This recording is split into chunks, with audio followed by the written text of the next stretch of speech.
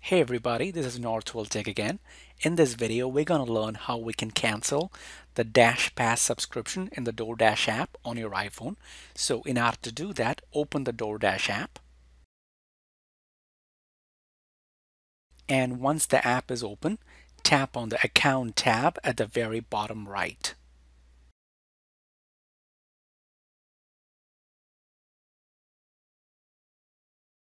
And then on the next screen, tap on Manage DashPass.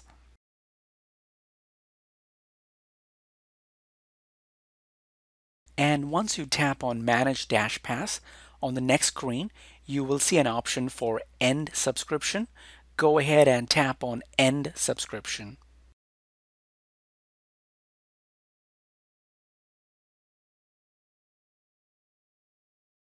And once you tap on end subscription on the next screen it will again ask for your confirmation whether you still want to cancel. So if you still want to cancel go ahead and tap on end subscription. And once you tap on end subscription on the next screen you will see a message which says cancellation successful.